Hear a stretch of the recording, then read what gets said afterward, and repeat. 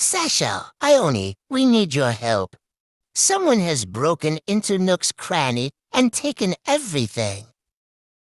But who was it? We're looking into it, Booker. We're going on an adventure.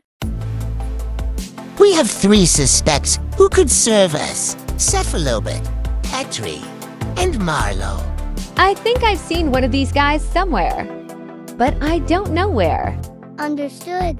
Then we'll keep looking. Wait, I recognize one of those guys.